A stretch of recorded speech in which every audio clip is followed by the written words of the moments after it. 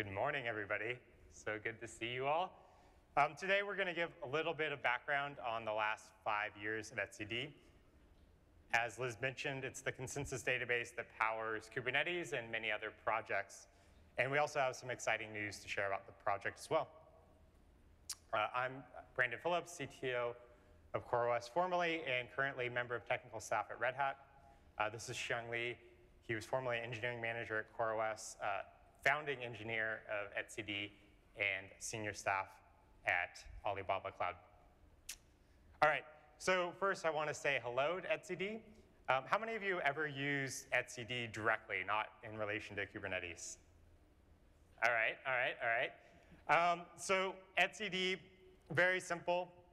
You can download it really quick on your laptop, run it. You can store keys into it, and then later retrieve the keys. Very important attribute of a database, is get stuff back out. And um, this is how you interact with it uh, from the command line. And the important property of etcd is that it's replicated. It's consistent and partition tolerant, and it uses this algorithm called Raft. And so a etcd cluster looks something like this. You have three to five members, and they're homogeneous, meaning that there's really no like difference in the attributes of the, the members in the cluster. And then the fancy property is that there's automatic leader election, so that if one or two of these machines that are running etcd fails in the cluster, you can continue to read and write to the database as you'd expect. And then obviously it's the database used by Kubernetes, and so you can use, if you use etcd CTL, you can see things you might be familiar with if you use Kubernetes inside of the database. Now, we built etcd five years ago to solve this particular problem that we had at CoreOS, which is uh, we were seeing this view of servers as something that would automatically update themselves. And obviously, you don't want to automatically update all your servers at once. Uh, that would cause downtime. You'd be upset.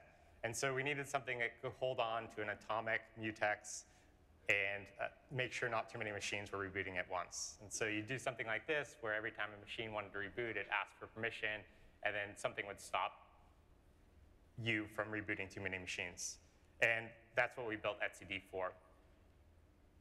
and it started, like all good things, with a README. We wanted to build something that was simple, secure, fast, reliable, and persistent. And Alex Polvi, uh, Xiang, and myself wrote down this README like all good startups in a Palo Alto garage somewhere. And uh, so just to reiterate, etcd is a database. It's replicated.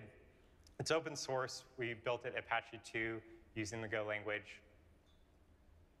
And it has a lot of stars on GitHub, most important metric of any software project. It's not testing, everybody. It's not language selection, it's stars. And uh, the project has been brought to this point so far by a huge amount of effort from this uh, top-level maintainership team. And so I want to give them a quick round of applause.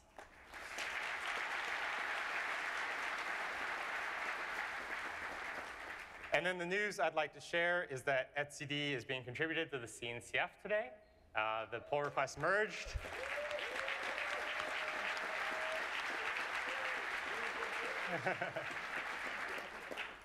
And this will ensure neutral governance of the domains and IP of the project moving forward. So with that, I'd like to hand it over to Xiang to give a background on what we've accomplished in the last five years. Thanks, Brandon. Hello, everyone.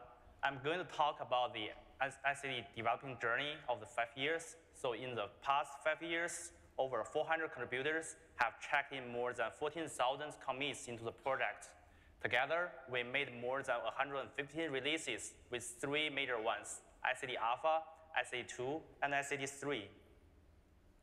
So etcd Alpha is our first release with the goal of being the cloud-native distributed consensus system. It provides a standard HTTP RESTful API, which is very easy to integrate with and to interact with. To be cloud native, etcd supports dynamic reconfiguration, which allow users to add, remove, or replace node easily in cloud environments. In this release, we got a few early adopters, including Cloud Foundry, Kubernetes, and later on, Flynode. So a year and a half later, we released etcd 2, with the goal of being solid. So etcd is one of the first systems to adopt Raft in production, a consensus system originally developed at Stanford. So Raft is designed to be easy to understand and simple to implement. However, implementing Raft reliably, efficiently, and in, for production system is still hard enough. So after many attempts and discussions, we realized that we have to rebuild the core of etcd, the Raft implementation from scratch. We need a much more careful design to enable deterministic behavior and rigorous testing. So with this goal in mind, we created etcd Raft, a new core for etcd. So now etcd Raft has become one of the most feature-rich and reliable distributed consensus algorithm implementations. So it powers many popular production systems like TiKV, dgraph, CockroachDB, and Hyperledger, and many more. So etcd3 is our current release, which focuses on efficiency, reliability, and usability. So a new storage backend is developed for etcd3 to support incremental snapshot, which allow users to store millions of keys into etcd efficiently and reliably. Multi-version concurrency control and transactions are also introduced into this release to simplify application development. So remote snapshot is also added for disaster recovery and for backup. So the team is working on new exciting features like learner, promote, proxy to further enhance etcd's reliability and usability. So etcd community has been a very active adopter and promoter of cloud-native technologies. So in 2014, we started to use Prometheus for metrics. In 2015, we moved our API to gRPC and we have contributed many bug fixes and feature enhancements to the gRPC community. In 2016, etcd team created the first operator, etcd operator, and we started to promote the concept of operator. Now, operator has become one of the most popular way to extend Kubernetes and to build Kubernetes native applications. So Kubernetes is a major user of etcd, and we have been working very closely with the Kubernetes community, and the two projects benefited from each other. The list and watch feature from etcd influenced the design of Kubernetes, and the Kubernetes requirement for etcd, especially around scalability, observability, reliability, pushed etcd development forward.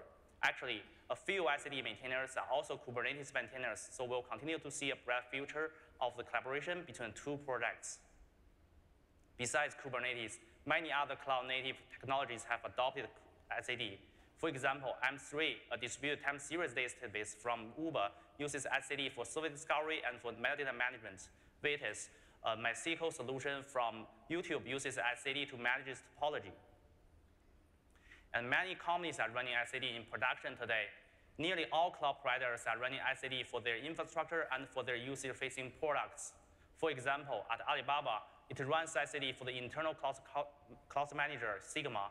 On Ali Cloud, it runs etcd for the cloud container services. So five years is not long for an infrastructure software, and etcd has achieved so much for its first five years. And as a community, we are proud that the project has benefited so many users and developers. So with that, I'm going to hand over to Brandon again, and he will talk about the etcd future in CNCF. Great. Thanks, Xiang.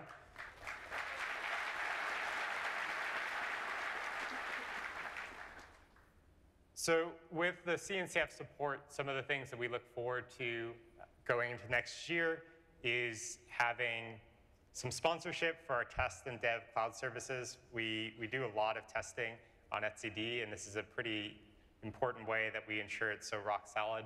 Uh, there's a lot of interesting war stories that we've written blog posts about. Uh, Discovery.etcd.io is used as a bootstrapping service and uh, getting a, a, more robust on-call system for that.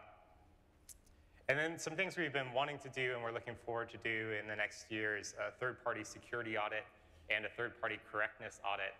Uh, building a distributed system is really difficult. We've done the best that we can with our own team, and having somebody with zero uh, understanding of the internals of the system will help build some confidence. All right, so I want to have a few advertisements at the end if you want to learn more. We have an Intro to etcd course Tuesday, uh, today at 11.40 a.m. We have a debugging etcd at 2.35 p.m. We have a roadmap session at 1.45 p.m. And finally, a deep dive Thursday at 10.50 a.m. Please check out these sessions. Uh, there's something for everyone, depending on your skill level. And thank you.